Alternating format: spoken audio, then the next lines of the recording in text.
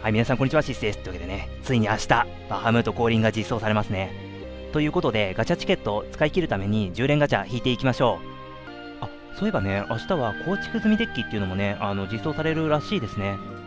で、そこには各リーダー1枚ずつ絵柄違いのレジェンドが入ってるということで、いや、結構楽しみですよね。ロイヤルで言ったら、乙姫。こちらのね、乙姫が新しい柄になってるということで、で、それがこちらになるんですけども、いやね、絵描いてる人分かってるよ。乙姫のこのカード、何が一番いいか。これ皆さんね、この乙姫のカードで何が一番いいか分かります？ここですよ、ここ。足の裏が見えてるってとこね。こちら新カード見てください。足の裏、見えてます。いやー、分かってるな、石は。いや、でも、いや、でも、一個ね、一個残念なのは、この、おへそが見えてたところが、見えなくなった。で、代わりにちょっと太ももが追加されたっていうね、ちょ、ここ、ここは、はい、10連でしたね、10連。ちょっと、10連、10連引いていきましょう。でね、実は、さっきね、エボルブの10連引いたんですよ。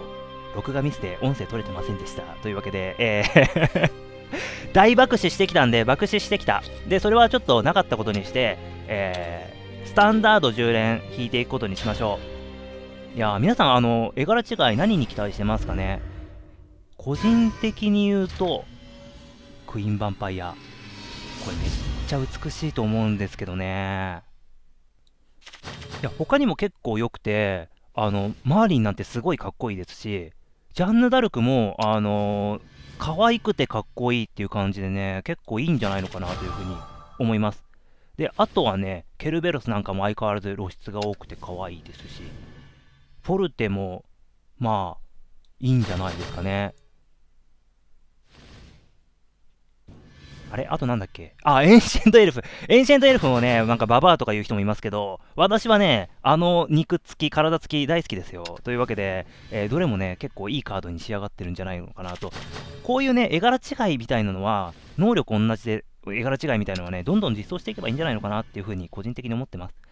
ただね、私あんまり課金してないので、こう、クリスタルでしか買えないようなものは、ちょっとね、たくさんは買わないかなと。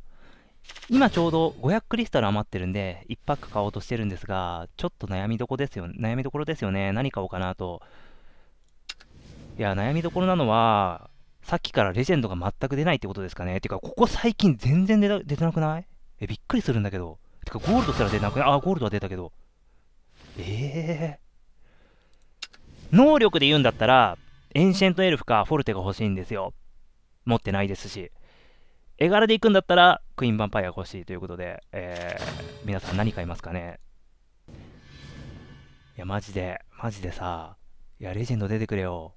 エンシェントエルフ、フォルテ、エンシェントエルフとフォルテ、エンシェントエルフとフォルテ、エンシェントエルフとフォルテ。祈りの集約じゃない。もうダメだ。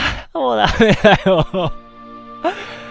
あー、でね、ほんとでね、ほんとでね、ほんとでね、ほんとでね、なんだこれ。